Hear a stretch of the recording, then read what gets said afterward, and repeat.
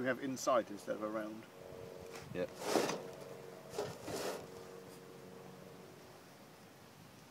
Yeah, we cool with that. Yeah. Yeah. Maybe falling from from the sky or something rather than the head, because we don't want to avoid them being on his head.